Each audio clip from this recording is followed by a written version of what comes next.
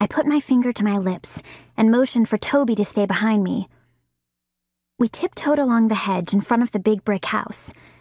When we got to the gate, I scanned the street, then whispered to Toby, You be on the lookout. If anybody comes outside, or a car comes, or anything, you whistle like I showed you this morning, okay? Toby nodded. I peered over the gate. The front door of the house was closed. I glanced toward the driveway. No car. The yard was empty and quiet. Here, Willie? I called out real soft. Nothing. Maybe he was inside. I wondered if I should go on up to the porch. Probably not. If somebody was home, they were liable to see me. Maybe you should whistle, Toby whispered. Okay. I whistled one time and waited.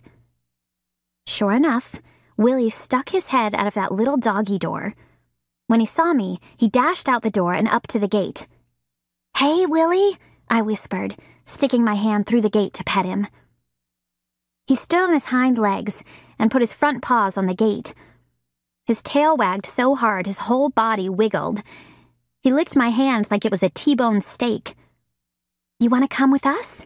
I said.